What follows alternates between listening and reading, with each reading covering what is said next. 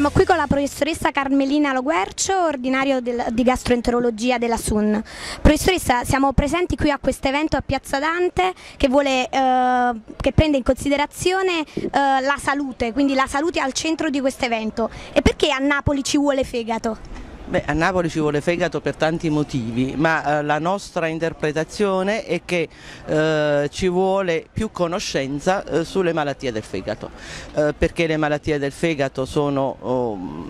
nella maggior parte dei casi eh, malattie prevenibili, con una corretta informazione, eh, sono malattie curabili eh, e quindi se si previene e si cura per tempo si evita poi di vedere un paziente magari a 50 anni con una cirrosi o col tumore del fegato. Quindi una corretta informazione ehm, aiuta, aiuta sul piano pratico, cioè può salvare le persone che magari mh, inconsapevolmente tralasciano un, uh, un controllo appunto del fegato perché fra l'altro il fegato non fa male, non dà segni segni di malattia, non dà sintomi che possano portare ad un, um, ad un controllo, ad una valutazione e quindi poi magari si arriva tardi, si arriva già con malattie evolute o addirittura col tumore del fegato. Questo evento, l'importanza?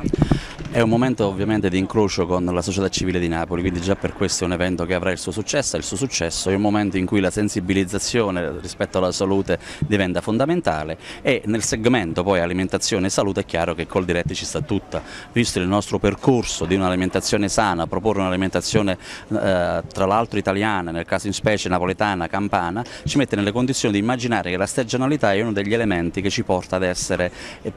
ad andare verso un'alimentazione sana. Ecco allora che col diretto non poteva mancare, a parte poi le relazioni importanti che abbiamo nel settore medico proprio perché noi siamo convinti che un'alimentazione sana previene qualsiasi tipo di malattia. Siamo qui con Paola, eh, una delle, delle organizzatrici della cooperativa Lazzarelle che si trova all'interno del carcere circondariale di Pozzuoli. Um, qual è il, vostro, il motivo della vostra presenza qui a Piazza Dante in occasione dell'evento A Napoli ci vuole fegato? Sì, siamo stati invitati perché praticamente abbiamo scoperto che il caffè aumenta le potenzialità sia dei, dei, mm, dei medicinali quando viene fatto l'interferone per l'epatite C e diminuisce proprio la quantità di marcatori per, um, le, per le, cellule tumorali, per uh, il, le malattie del fegato e quindi bisognerebbe in realtà prendere più di 3-4 tazzine di caffè al giorno per diminuire quelli che potrebbero essere i fattori tumorali per il fegato. Siamo con il tenente Cortese, la presenza della Polizia Municipale in questa iniziativa che significato ha?